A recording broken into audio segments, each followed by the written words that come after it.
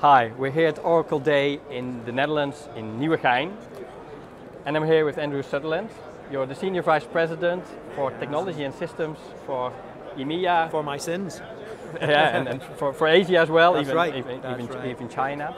And you had a really inspiring keynote. Very much indeed. Yeah. It comes from the heart. And it, it was from the heart, but it's about the autonomous world and how the world becomes autonomous. That's right.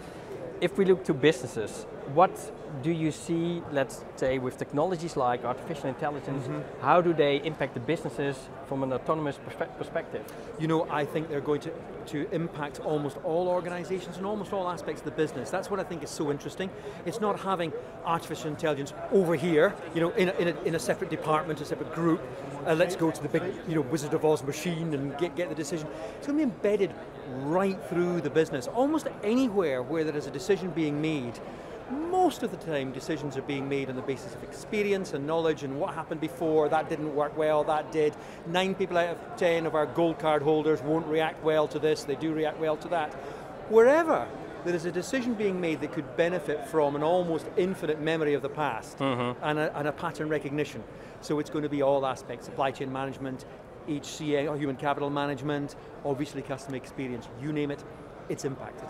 And if you then look in the IT environment, how is this impacted? Can you give a nice Oh. I can, and I rather like this as somebody from IT. You Mm-hmm. know, physician heal thyself. What about applying our own technology to our own problems, not just other people's?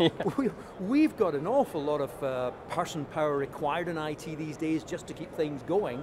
Wouldn't it be smart if we can actually use our own technologies to make the data look after itself? It should be saying to us, here I am, use me as you wish, I'll secure myself and look after myself and that's called the Autonomous Database. We've got a, a book about it here. You can, uh, it's called for dummies, so I'm sure nobody watching will actually want to read this themselves, but you may know somebody uh, who's a dummy that needs to know this. Maybe get a bit of a look on the way as well. That describes IT being applied, or sorry, AI being applied to IT. Perfect. And if you look from a business perspective or department perspective, where do you expect in the near future which departments and which businesses Yeah. to become an autonomous? You know, I would have said, I, I think customer experience is, is, is one. So you can start always recommending the right pattern of behaviors or leading to the right offer. It's almost too obvious. I think some of the more attractive ones that I, I'm starting to see now are in large scale logistics mm-hmm. organizations. So there, as an industry, is, is really starting to benefit from this. And perhaps the most surprising one is HR, human human or human capital, human Yes. resources, Yeah. and using artificial intelligence to help us um, make sure that we manage our most, still our most valuable resource, in, even in the world of artificial intelligence, our people. Andrew, thanks a lot Real for pleasure. explaining how AI is going to augment our people. Perfect word. And I think that's the way how we're going to use technology in the near the future. word. Thanks a lot for watching here from Nieuwegein in the Netherlands at Oracle Cloud Day.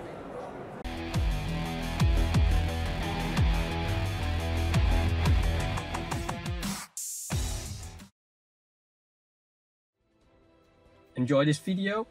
Don't forget to like, subscribe, share and get notifications of my new video.